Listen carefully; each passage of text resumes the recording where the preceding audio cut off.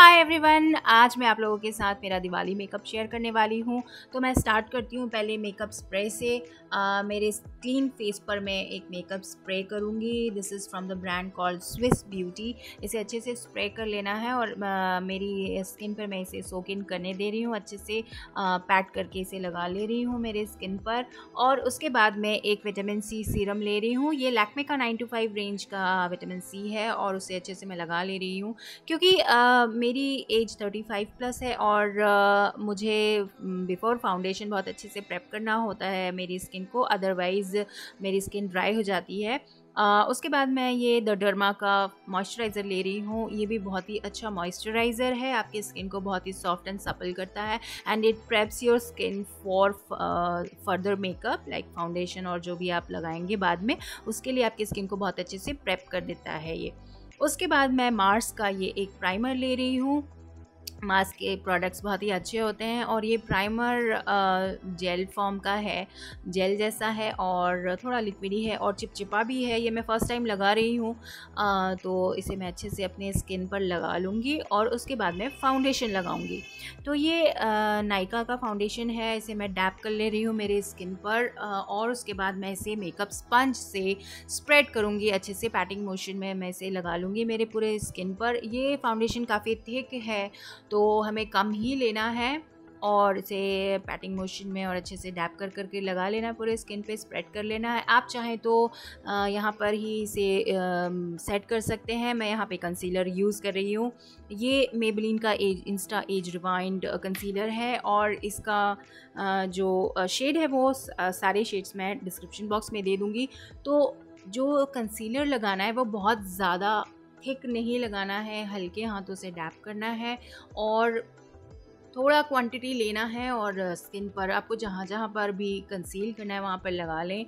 और मैं जैसे कि अपने साइड्स ऑफ़ नोज़ में लगा रही हूँ अंडर आई में थोड़ा सा लगाया मैंने साइड्स ऑफ़ माई लिप्स वो लगाया मैंने और जो थोड़े बहुत मेरे पिंपल्स थे उन पर भी लगा लिया।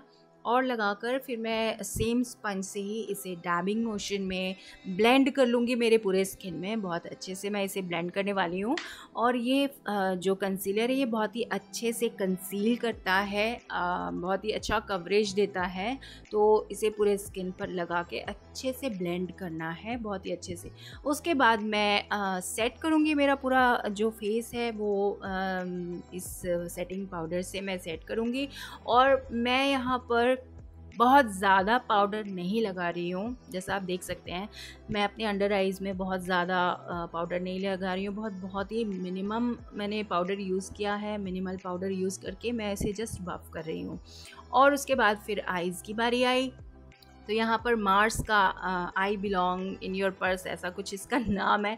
नाम आपको डिस्क्रिप्शन में मिल जाएगा। उस फाउंडेशन सॉरी आई शेडो को लेकर मैं आ, लगा रही हूँ। ये डार्क ब्राउन शेड है उस पैलेट का और उससे मैं अपने आउटर कॉर्नर पे आ, एक वी शेप बना रही हूँ और मैं इसे बिल्ड कर रही हूँ। एक बार में ही मैंने बहुत ज़्यादा शेडो नहीं लिया उसे मैं बिल्ड कर रही हूँ इंटेंसिटी उसके बाद मैं ये शैम्पेन शेड ले रही हूँ फ्रॉम द सेम पैलेट और मैं अपनी उंगली का इस्तेमाल कर रही हूँ यहाँ पर और अपनी उंगली से मैं इसे अपने लिड पर लगा रही हूँ। बहुत ही अच्छे से स्प्रेड करना है। एक्चुअली उंगली थोड़ी आपकी गर्म होती है। उसकी वजह से ही बहुत अच्छे से स्प्रेड होता है। उसके बाद मैं ये एक लाइट पिंक शेड ले रही हूँ। उसे मैं जस्ट अपने लिड के टॉप पर लगा रही हूँ और सेम ब्राउन जो शेड है, उसको मैं अपने लोअर लिड्स पर भी लगा ले रही हूँ। काजल ले ले रही हूँ मैं यहाँ पर। फेसेस का ये काजल है। आ, मैं अपने अपर एंड लोअर लेट पे लगाऊँगी। धीरे धीरे इस तरह से लगा रही हूँ।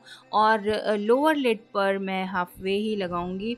पूरा ऑल द वे मैं नहीं लगाऊँगी इसे। उसके बाद मैं इसे विंग करूँगी with the help of an angled brush ये एंगल्ड जो ब्रश है इससे मैं अपनी आँखों पर विंग बना रही हूँ अपने आईलिड्स पर। और यही मेरा इजी वे है टू मेक अ विंग क्योंकि ब्रश से काफ़ी टाइम मुझे लग जाता है दूसरे ब्रश से तो मैं इस तरह से ही अपनी आँखों पर विंग बना लेती हूँ, जो कि बहुत ही टाइम सेविंग होता है और बहुत जल्दी हो भी जाता है। ये देखिए मैंने दूसरी आँख पर भी बना लिया और अगर आपको लगे कि काजल की इंटेंसिटी कम हो गई तो आप थोड़ा सा फिर फिर से लगा सकते हैं आपकी लाइन पर एंड उसे आप स्मच कर सकते हैं। तो इस तरह से ये विंग मेरी विंग लाइन बन गई है मेरी दोनों आँखों पर। उसके बाद मैं ये मेकअप रेवोल्यूशन लंदन का पैलेट ले रही हूँ। उसमें पैलेट का नाम आपको डिस्क्रिप्शन में मिल जाएगा। उसमें जो ये एक बहुत ही लाइट शेड था उससे मैं इनर कॉर्नर्स में लगाया और उसके बाद मैं अपने ब्राउज़ को आ, सेम शेडो जो है आई शेडो से मैं अपने ब्राउज़ को फिल इन करूँगी। सेम पैलेट से मैंने लिया है ये डार्क ब्राउन आई शेडो और धीरे धीरे मैं अपनी आई आईब्रोज़ की शेप में मैं ड्रॉ कर रही हूँ आईब्रोज़। ये पैलेट मेरा ऑल इन वन पैलेट है। इसे मैं eye shadow contour brow filler और कभी कभी तो मैं इससे आ, वो भी लगाती हूँ ब्लश भी लगा लेती हूँ। इसमें एक पीच कलर है उससे मैं ब्लश भी लगा देती हूँ। तो इस तरह से मैं अपने आईब्रोज़ को फिल इन कर रही हूँ डार्क ब्राउन शेड से और शेप दे रही हूँ मेरे आईब्रोज़ को। उसके बाद मैं ये लॉरियल का मस्कारा ले रही हूँ। मैंने ब्लैक वाला ही पार्ट लगाया। ये टू वे मस्कारा है और मैंने सिर्फ़ ब्लैक पार्ट ही लगाया क्योंकि मैं फॉल्स आई लैशेज़ लगाने वाली हूँ तो मैंने दोनों जो लेंथ देने वाला और वो है तो वो नहीं लगाया। मैंने बस ब्लैक वाला ही लगाया और यहाँ पर मैं आई लैशेज़ लगा रही हूँ। ये एक जेनेरिक ब्रांड है, मुझे ब्रांड भी याद नहीं है। मैंने अमेज़ोन से लिया था, मैं लिंक आपको डिस्क्रिप्शन में दे दूँगी इसका। तो मैंने दोनों लैशेस लगा लिए हैं। अब लोअर लिड पे मैं ये एक मिल्क या फिर स्किन टोन का जो होता है आई लाइनर वो लगा रही हूँ from the brand Wet and Wild और वही सेम पैलेट मैंने लिया मेकअप रेवोल्यूशन लर्निंग का और मैं कॉन्टोर कर रही हूँ। तो आ, मैं जस्ट डैब कर रही हूँ, जो शेडो है, वो उसे मैं डैब कर रही हूँ, क्योंकि मुझे बहुत ज़्यादा कॉन्टोरिंग नहीं चाहिए, वो बहुत ही अजीब सा दिखता है कुछ तो मैं हल्के हाथों से बिल्ड कर रही हूँ, जो शेड है उसे, और मैं अपने जॉ लाइन पर भी लगा रही हूँ। और यूजुअल जो भी स्पेसेस या प्लेसेस होते हैं हमारे फेस पर कॉन्टोर करने के, वहाँ पे कर रही हूँ। और नाक के लिए मैंने उंगली का इस्तेमाल किया यहाँ पर। उंगली से ही मैं कॉन्टोर कर रही हूँ नाक पर। उसके बाद मैं अपने फोर हेड पर लगा रही हूँ कॉन्टोर कर रही हूँ और अच्छे से इसे कॉन्टोर कर लेना है और ब्लेंड कर लेना है जो भी शेड है उसे। आ, उसके बाद मैं एक आ, पूरे फेस पर एक प्लेन ब्रश लेकर जस्ट सीमलेस बना रही हूँ सारा कुछ अच्छे से ब्लेंड हो जाए सब कुछ। उसके बाद मैं एक ब्लश ले रही हूँ, उसे बहुत अच्छे से हल्के हाथों से ब्लेंड डैप कर रही हूँ मेरे गालों पर। हाईएस्ट पॉइंट्स पर ले जाना है, बीच से बिल्कुल भी नहीं लगाना है क्योंकि अगर ये बीच में आ जाता है मेरे एप्पल्स पर आ जाता है तो बहुत ही बुरा दिखेगा। फिर उसके बाद मैं हाईलाइट कर रही हूँ, अगेन नाक पर उंगली से मैं हाईलाइट कर रही हूँ।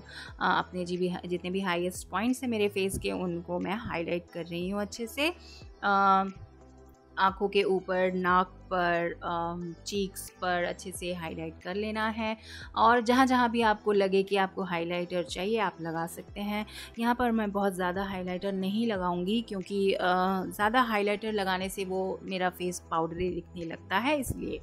अब ये एक लिपस्टिक लगा रही हूँ, रेड कलर का। This is from the brand called matte look ये बहुत ही अच्छी लिपस्टिक है ट्रांसफ़र प्रूफ है।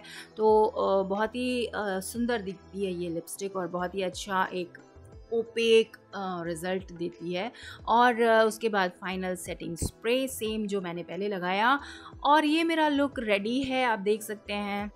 आई होप आपको ये लुक पसंद आया होगा।